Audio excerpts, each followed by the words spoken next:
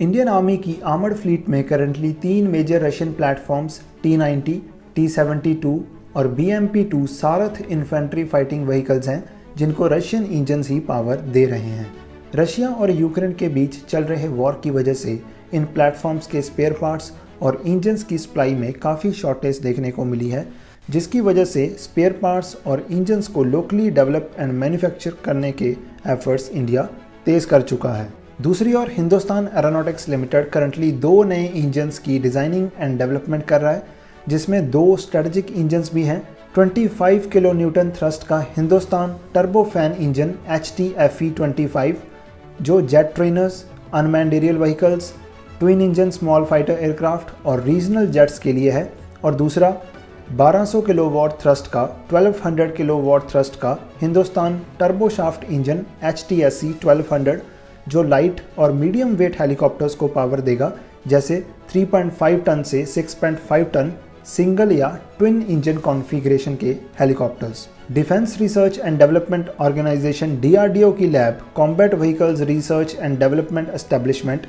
heavy armoured vehicles के engines की development में एक इंपॉर्टेंट रोल प्ले कर रही है। इस साल मार्च में डिफेंस मिनिस्ट्री ने अपने मैसूरू कॉम्प्लेक्स में भारत अर्थ मूवर्स लिमिटेड के इंजन डिवीज़न में फ्यूचरिस्टिक मेन बैटल टैंक्स के लिए इंडिया के पहले indigenously developed Datran 1500 horsepower engine के टेस्ट रन की अनाउंसमेंट की थी। 1500 हॉर्स पावर और 25,000 क्यूबिक कैपेसिटी का यह डीजल इंजन एक्सट्रीम कंडीशंस जैसे high altitudes sub zero temperatures और डेजर्ट एनवायरनमेंट्स में high power to weight ratio से ऑपरेट करने में कैपेबल होगा। टेस्टिंग के बाद इस प्रोजेक्ट का सेकेंड फ़ेज़ स्टार्ट हो चुका है, जिसमें बेमल दातरण इंजन की कुछ यूनिट्स को प्रोड्यूस करेगा, जिसके बाद C V R D combat vehicles research and development establishment की फैसिलिटी में ट्रायल्स होंगे।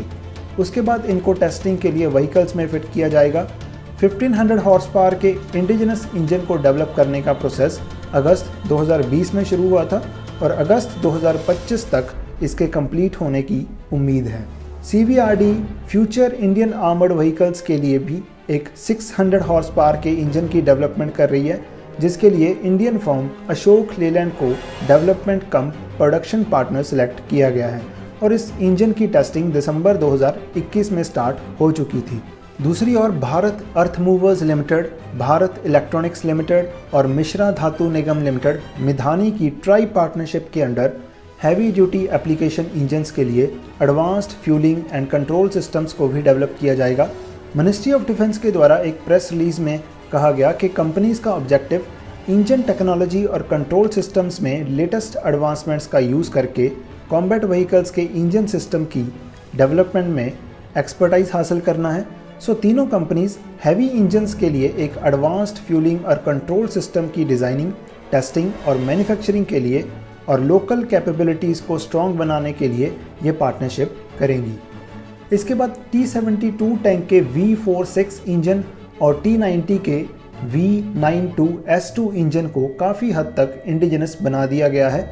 और जुलाई 2018 में इंडियन आर्मी को टी सेवेंटी टू और टी नाइन्टी का पहला इंडिजिनस इंजन डिलीवर किया गया था। इंजन्स फैक्ट्री आवड़ी द्वारा मैन्युफैक्चर किए गए टी सेवेंटी टू इंजन की पर यूनिट में 9.75 लाख और T90 के इंजन की पर यूनिट में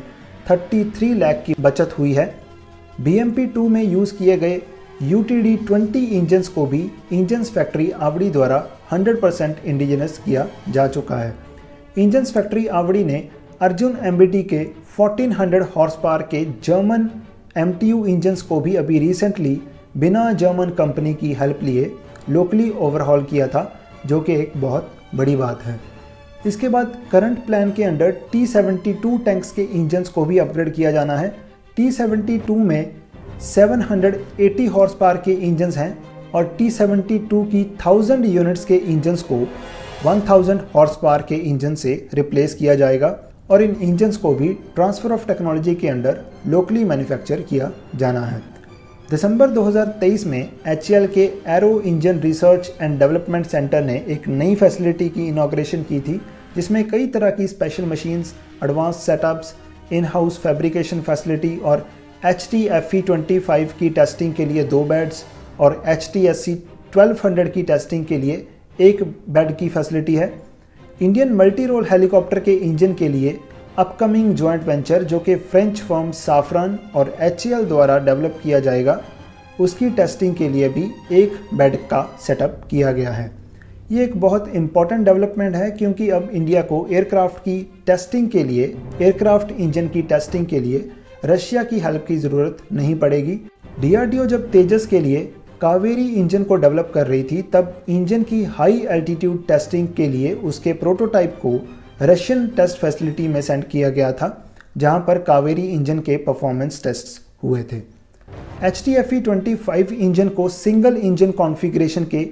पाँच टन क्लास के एयरक्राफ्ट और ट्विन इंजन कॉन्फ़िगरेशन के नौ टन क्लास के एयरक्राफ्ट में यूज़ किया जा सकता है। 25 किलो न्यूटन के इस इंजन को पहली बार दिसंबर 2015 में रन किया गया था और अभी तक दो इंजन्स को प्रोड्यूस किया जा चुका है, जो अभी डेवलपमेंट ट्रायल्स में है। H T S C twelve hundred एक 1200 किलो वाट का टर्बो शाफ्ट इंजन है जिसको तीन से छः टन कैटेगरीज के हेलीकॉप्टर्स में यूज़ किया जाएगा। इस टर्बो शाफ्ट इंजन के एक टेक्नोलॉजी डेमोन्स्ट्रेशन को डेवलप किया जा चुका है जो अभी टेस्टिंग फ़ेज़ में है। सो so, इंडिया द्वारा कई इंपॉर्टेंट इंजन प्रोग्राम्स पर काम किया जा रहा है जो इंडियन आर्मी की फॉरेन पावर प्लांट्स पर हैवी डिपेंडेंस को कम करने में मदद करेंगे। पर हैवी मिलिट्री आर्मर्ड व्हीकल्स जैसे टैंक्स और इन्फेंट्री कॉम्बैट व्हीकल्स के इंजन को डेवलप करना बहुत एक्सपेंसिव होता है और अगर इनकी प्रोडक्शन लार्ज स्केल पर नहीं होती तो उल्टा कॉस्ट कम होने के बजाय लॉन्ग रन में इनकी प्रोडक्शन कॉस्ट इंक्रीज होगी। सो कॉम्बैट प्लेटफॉर्म्स के इंजन को लोकली डेवलप करने का फ़ायदा तब है जब आर्मी इन फ्यूचर कॉम्बैट व्हीकल्स को लार्ज साइज़ में एक्वायर करती है या फिर इंडिया इनको एक्सपोर्ट करने के पोटेंशियल्स भी ढूंढे। फ्यूचरिस्टिक इन्फेंट्री कॉम्बैट व्हीकल्स जैसे प्रोग्राम की स्लो प्रोग्रेस भी एक इशू है, जिसमें अभी तक कोई मूवमेंट देखने को नहीं मिली है।